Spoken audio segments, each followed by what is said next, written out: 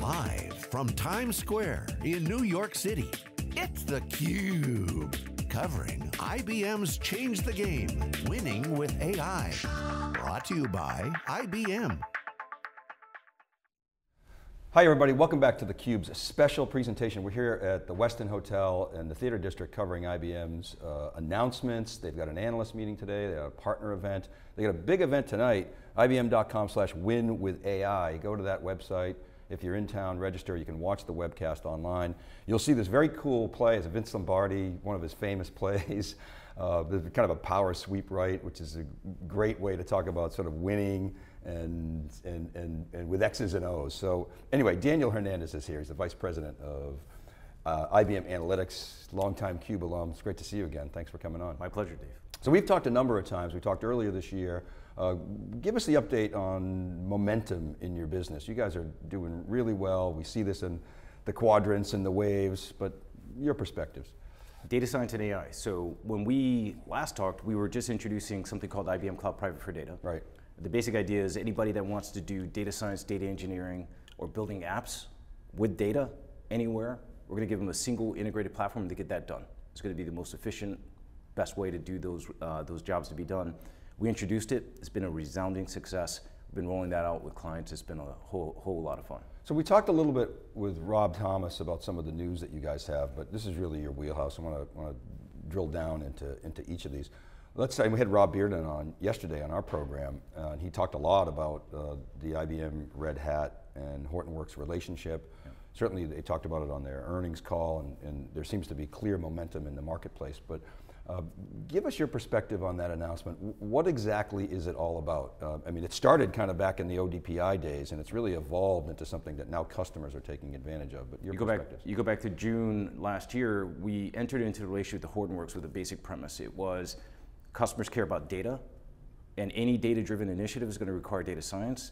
And we had to do a better job bringing these ecosystems, one focused on kind of Hadoop, the other one on classic enterprise analytical and operational data together.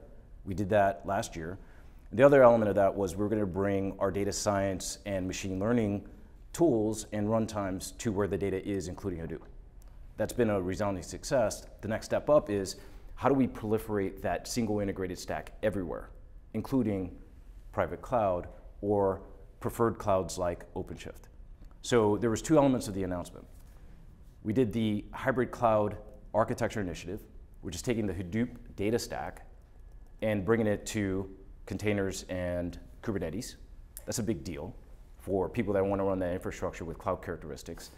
And the other was, we're going to bring that whole stack onto OpenShift. So on the IBM side, with IBM Cloud Private for Data, we are driving certification of that entire stack on OpenShift. So any customer that's betting on OpenShift as their cloud infrastructure can benefit from that and the single integrated data stack.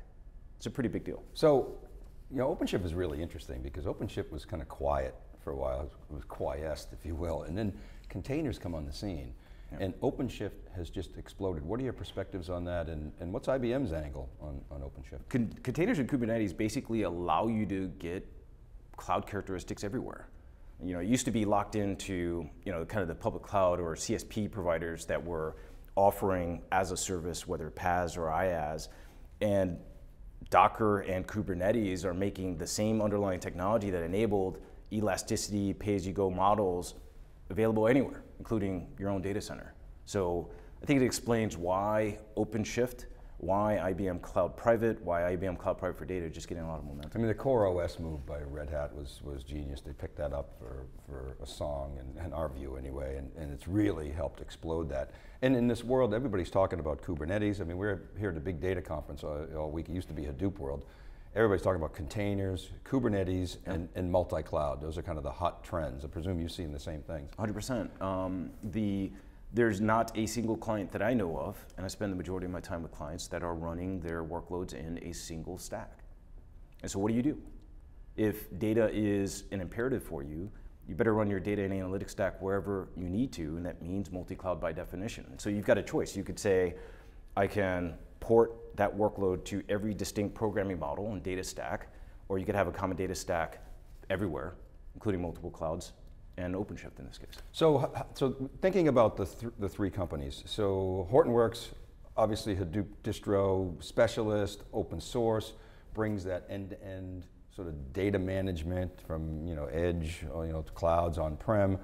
Uh, Red Hat doing a lot of the sort of hardcore infrastructure Yeah. layer. IBM bringing in the analytics and really empowering people to get insights out of, out of data. Is that the right way to think about that triumvirate? 100%. And you know, with the Hortonworks and IBM data stacks, well, you've got our common services, particularly around open metadata, which means wherever your data is, you're going to know about it and you're going to be able to control it. Privacy, security, data discovery reasons, that's a pretty big deal. Yeah, and as, as the, the cloud, well, obviously the cloud, whether it's on-prem or in the public cloud, expands now to the edge, you've also got this concept of data virtualization. We've talked about this in the past. You guys have made some announcements there, but let's sort of double click on that a little bit. What's it all about? So data virtualization has been around for a long time. Its basic intent is to help you access data through whatever tools, no matter where the data is. Traditional approaches to data virtualization are pretty limiting. So they work relatively well when you've got small data sets, but when you've got highly fragmented data, which is the case in virtually every enterprise that exists, um, a lot of the underlying technology for data virtualization breaks down. Data coming through a single head node, for instance, ultimately that becomes the critical issue. So you can't take advantage of data virtualization technologies, largely because of that, when you've got wide-scale deployments. We've been incubating technology under this project codename QueryPlex. It was a, it was a code name that we um, used internally and that we were working with beta clients on and testing it out, validating it technically. And what was pretty clear is this is a game-changing method for data virtualization that allows you to, to drive the benefits of accessing your data wherever it is, pushing down queries where the data is, and um, getting benefits of that through a highly fragmented data landscape. And so what we've done is take that extremely innovative next generation data virtualization technology, included in our data platform called IBM Cloud Private for Data, it made it a critical feature inside of that. I, I like the term query plex. It reminds me of the global sysplex. I go back to the, the days when actually doing sort of distributed global systems was very, very challenging, and IBM sort of solved that problem. But Okay, so, so what's the secret sauce though of, of, of Queryplex and, and, data virtualization? Kind of how does it all work? What's the tech behind it? So, so technically, instead of data coming and getting funneled through one node, if you think about your data as kind of a graph of computational and data nodes, what Queryplex does is take advantage of that computational mesh to do queries and analytics. So instead of bringing all the data and funneling, funneling it to one of the nodes, and depending on the computational horsepower of that node and all the data bandwidth to get to it, this just federates it out. It distributes out that, that workload. So it's um, some magic behind the scenes, but a relatively simple technique. You know, uh, low computing in aggregate is probably going to be higher than whatever you could put in, inside of a single node. And how do customers access these services? What uh, form uh, does it take? It would look like a standard query interface to them. So this is all magic behind the scenes. Okay, and, and, and they get this capability as part of what on IBM? IBM Cloud Private for Data. It's going to be a feature. So this project, Queryplex, is introduce this next generation data virtualization technology, which just becomes a part of IBM Cloud Private for Data. Oh, okay. And then the other announcement that we talked to Rob about, I'd love to understand a little bit more behind it. Actually, before we get there, uh, um, the, can we talk about the business impact of, of Queryplex and data virtualization? Um, thinking about it, it dramatically simplifies the, the processes that I have to go through to get, to get data, but more importantly, it helps me get a handle on my data so I can apply machine intelligence. It seems to us that the innovation sandwich, if you will, is data plus AI and then cloud models for scale and simplicity, and that's where, what's going to drive innovation. So talk about the business impact that people are excited about with regard to Basically three. Better economics. So in order for you to access your data, you don't have to do ETL in this particular case. So data at rest getting consumed because of this underlying technology. Okay. Two, performance. So because of the way this works, you're actually going to get faster response times. Three, you're going to be able to query more data simply because this technology allows you to access all your data in a fragmented way without having to consolidate it. Okay, so it eliminates steps yep. right? And, and get, gets you time to value and gives you a bigger corpus of data that you can then analyze and dr drive insights 100%. From. Okay, let's talk about Stack Overflow. You know, Rob took us through a little bit about what, what that's, what's going on there, but why Stack Overflow? You're targeting developers. Talk more about that. So Stack Overflow, 50 million active developers each month on that community. If you're a developer and you want to know something, you're to go to Stack Overflow. Um, you, you, you think about data science and AI as disciplines. The idea that that is only germane to AI and data scientists is a very limiting idea.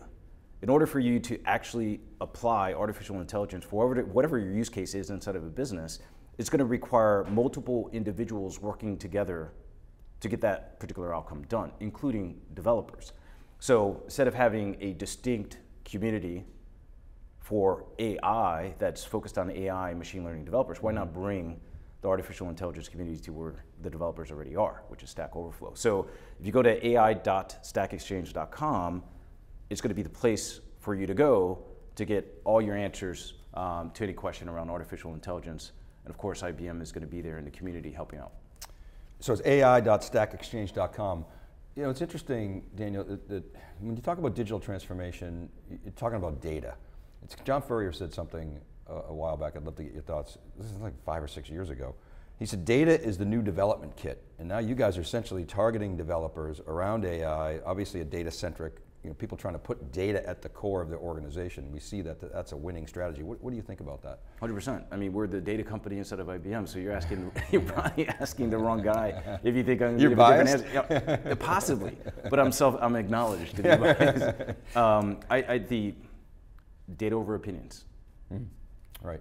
All right. Tell us about tonight what, what we can expect. I was referencing the Vince Lombardi play here. You know, what's behind that? What's what are we going to see tonight? We were, we were joking a little bit about the uh, old school power I formation, uh, but that that obviously works. Um, uh, for your, uh, you're a New England fan, aren't you? I am actually. If you saw the games this weekend, Pats were in a power I for quite a bit of the game, which um, I know upset a lot of people, but it, works.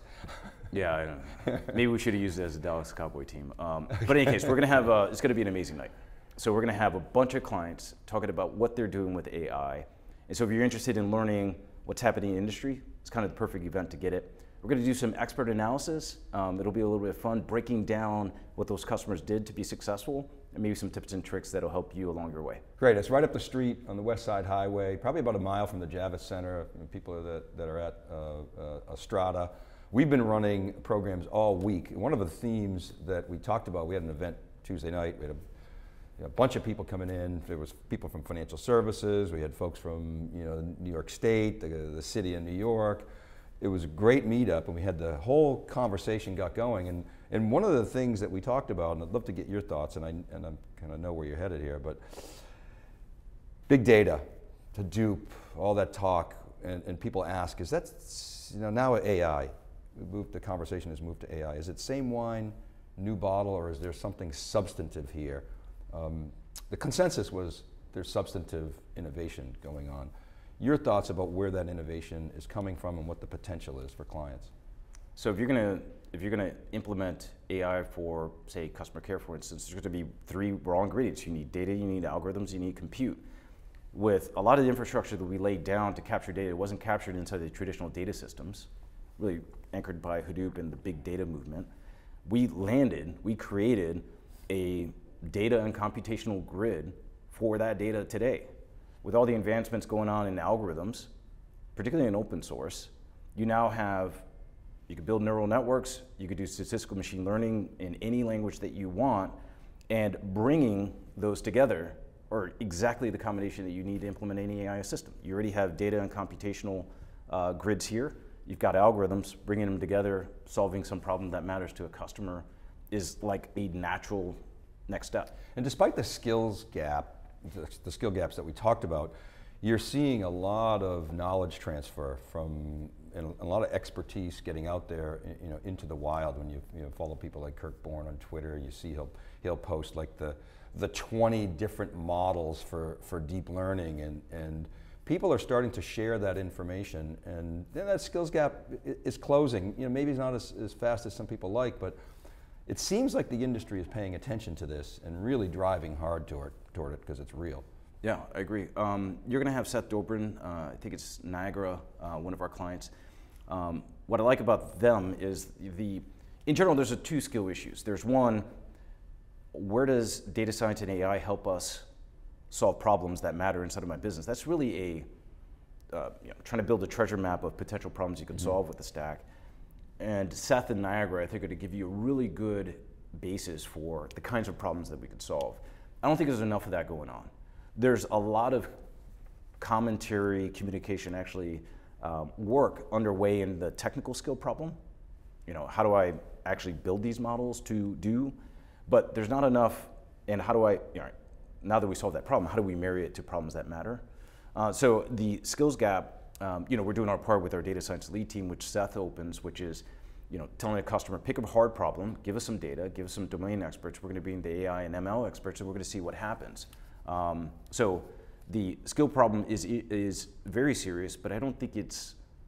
Um, most people are not having the right conversation about it necessarily. They understand intuitively there's a tech problem, but that tech not linked to a business problem matters nothing. Yeah, it's not insurmountable. I'm glad you mentioned that. We're going to be talking to, to Niagara Bottling and how they used the data science elite team to, as an accelerant to kind of close that gap. Yeah. And I'm really interested in the knowledge transfer that occurred. Of course, the one thing about IBM and companies like IBM is you get not only technical skills, but you got deep industry expertise as well. Daniel, always great to see you. Love talking about the offerings and going deep. So yeah. good luck tonight. We'll see you there. And thanks so much for coming on theCUBE. My pleasure. All right, keep it right there, everybody.